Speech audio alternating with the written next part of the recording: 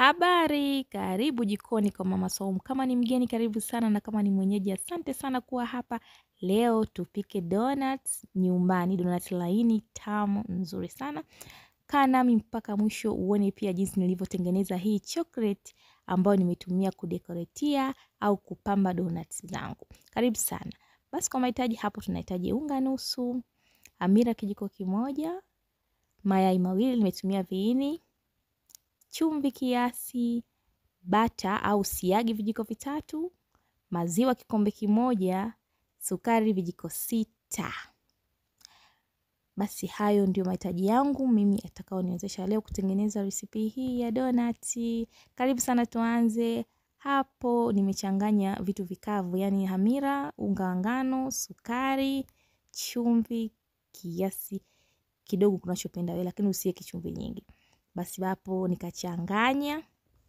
Baada ya kuchanganyika, nikatia viini vya mayai, nikatia hapo, nikachanganya na venyewe. Unaweza ukatumia yai moja, unaweza ukatumia Kiswahili au kienyeji au haya kizungu. Baada ya hapo sasa nikakanda kwa kutumia maziwa. Kile kikombe cha maziwa natumia kukandia. Kwa kwanza, nimeanza kukandia na upawa kwa sababu ukitia kiini cha yai ngano inanata sana. Kwa hiyo nimehofia mikono yangu kuwa inanata na ngano nikaanza kukandia na kiupawa hicho. Basi mpaka ilipochanganyika vizuri, nikaona hapa sasa inafaa kutumia mikono, basi nikaanza kutumia mikono kukanda. Nimekanda mpaka ilipokaza na kushikamana pamoja kama hivyo. Basi na baada ya hapo nikatia siagi. Nikatia siagi wakati huu. Unapotia siagi unapokuwa unakanda, unaona kama vile unarudia tena zoezi, unarudi nyuma. Inakatika katika ngano lakini ndio hivyo inabidi uendelee mpaka itakapokaza na kukaa vizuri kama hivyo. Mimi hapo ilikuwa ipo tayari vizuri. Watakuwa ukande ngano yako ikandike vizuri na ukande mlaini usikande mgumu. Basi baada ya hapo na uache unga wangu na ufunika kwa ajili ya kuumuka ili umuke. Basi nimetumia kama dakika arobaini hivi ukawa umeumuka, ngano yangu imeumuka vizuri kama hivi unavyoona hapo, na nikatoa hewa kwenye hii ngano. Amira na kaida kuleta hewa, kwa hiyo nikatoa hewa alafu nikaanza kukata matonge. Kwa vile sina sehemu kubwa ya kusukumia, nimekata vitonge vidogo vidogo, lakini wewe kama una sehemu kubwa, basi lisukume lote alafu tu uanze kukata donuts zako. Basi mimi nilikata matonge hapo, na baada ya kukata matonge hayo, kwa leo mimi nitatumia hivi vidude ambavyo wanatumia mafuta ya kura, kupimia mafuta ya kura dukani. Vidude hivi ndo nitakatia ile raundi ya donut, ile shepu yake ya nje. Alafu kile kitobo cha kati nitatumia hivi vizibo viwili hapa. Kizibo hichi kwa ajili ya kitobo kikubwa na hiki hapa kwa ajili ya kitobo kidogo. Basi lakini kikubwa ndo nilitumia sana. Kwenye kibao changu nimeweka hapo unga ili ya ngano yangu isigande, kisha nikaweka tonge na hapo ninasukuma. Sasa usisukume sana na wala usisukume kidogo, kwa sababu ukisukuma sana utapata donati nyembamba, ukisukuma kidogo utapata donati nene sana na haitapendeza.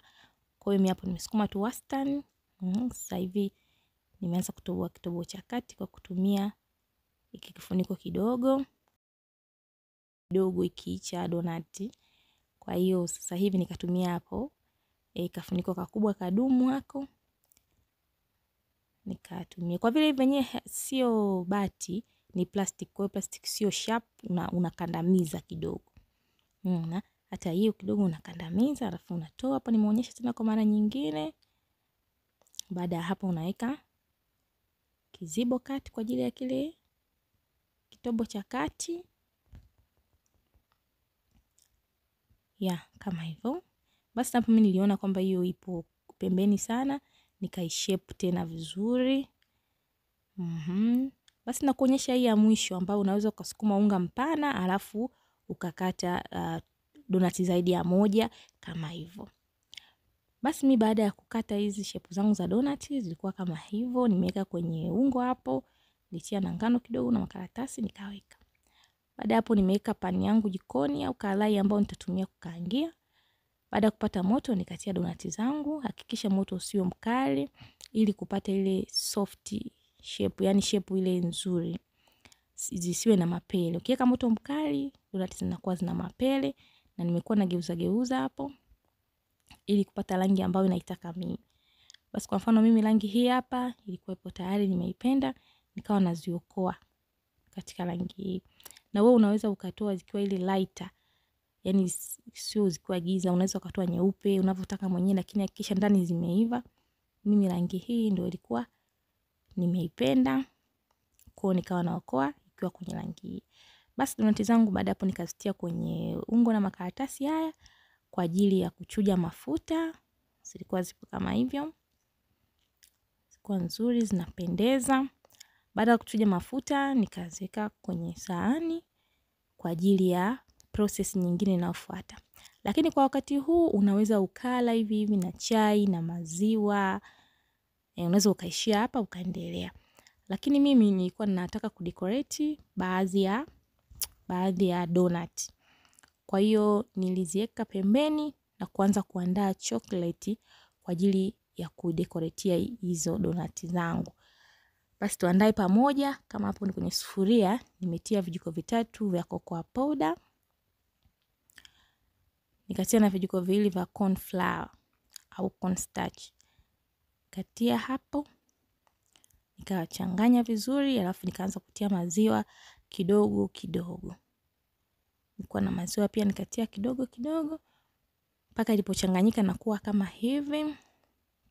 Alafu nikatia sukari vijiko sita. Sukari jamani, inabidi iwe nyingi kwa sababu cocoa powder ina asili ya uchungu uchungu kwa mbali. Kwa hiyo sukari inabidi iwe nyingi ili izidi izidi cocoa powder, alafu iwe na ladha ya sukari. Baada ya hapo nimechanganya vizuri, alafu nimepeleka jikoni kwenye moto mdogo mdogo wa gesi.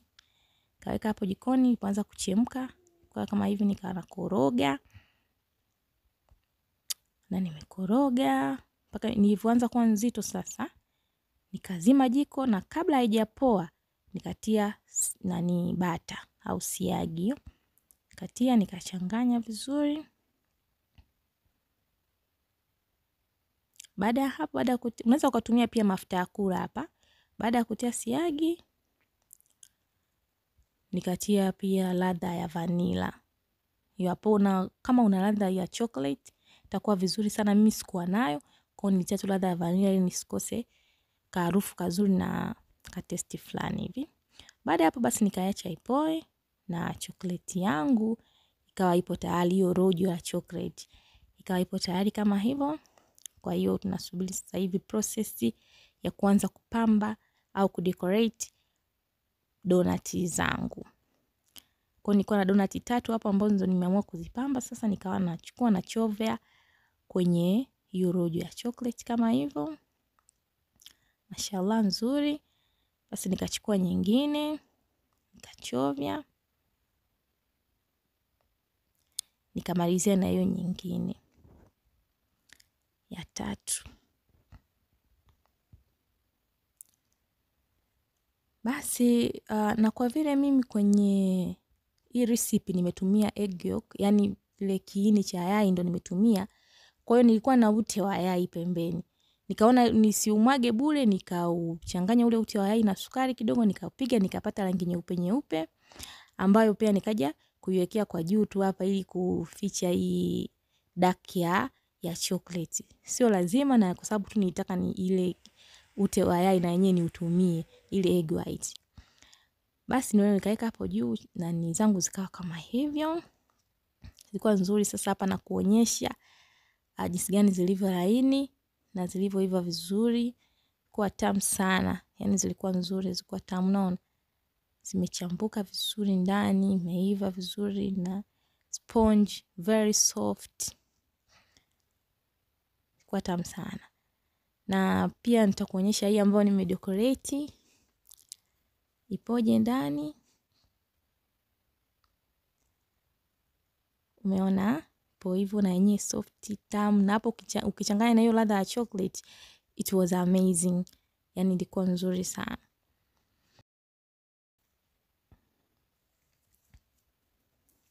Basi I hope umependa. Kama umependa usisahau kulike, kucomment.